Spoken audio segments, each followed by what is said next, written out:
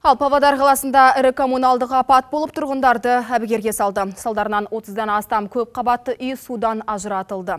Жауапты мамандар үйлерге су жеткізу жұмыстарын қолға алған. Апат орында 30-дан астам техника мен бірнеше бригада жұмыс істеп жатыр. Апаттың себебін әріптесім Ақмарал Есімханова анықтап көрді.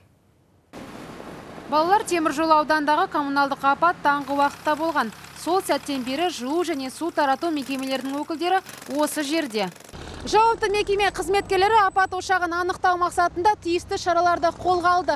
Нақтырақ айтқанда жүйелердің аумағындағы төрт бірдей учаскеде зерттеу жұмыстары жүргізіліп жатыр. Мамандардың болжамынша 30-дан астам тұрғын үйді сусыз қалдырған коммуналдық апаттың екі себебі бар.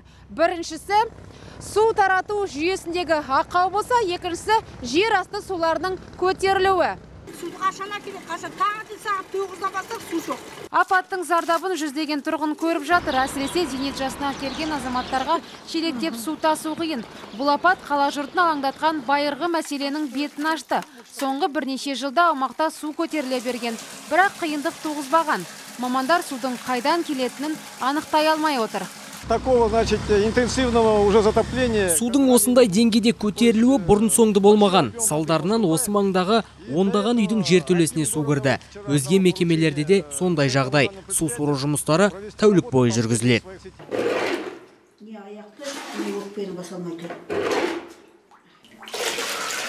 Судың салдарынан Павлодар бизнес колледжі ғимараттың іргесі сөгіле бастаған. Бірнеше аудитория апатты деп танылып сыз басты.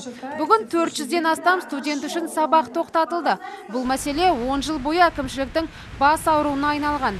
Мамандардың айтуынша апаттың болуына кезінде есіз қалған ескі жүйе түрткі болуы мүмкін. Если будет выявлено... Ақау жылу желілерінде анықталса, нормативті құжаттарға сәйкес 12 сағаттың ішінде жөнделеді. Бұл жерлерде кезінде есіз қалған желілер жатыр. Апатқа сол да себеп болуы мүмкін. Әзірге апаттың нақты себебін айту қиын. Қазіргі уақытта көп қабатты үйлерге су беріле бастады. Тұрғындарды жылу желілерден ажырату жоспарланбаған. Ақмарал Есімханова және Марат Игіліков, қорытынды жаңалықтар, Павлодар.